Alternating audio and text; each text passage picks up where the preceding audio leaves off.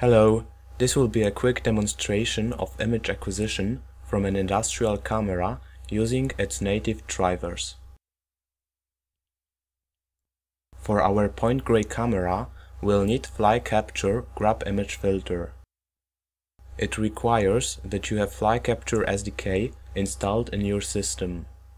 Of course, for other camera vendors, you'll need to install proper SDKs from their websites. But let's get back to Point Grey's camera.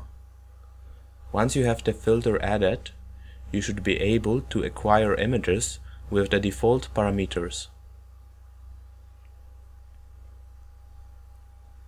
If you have more devices from the same vendor connected to one computer, you will need to specify the device's ID. Please note that you can also adjust other available camera parameters in the properties of Fly Capture Grab Image filter.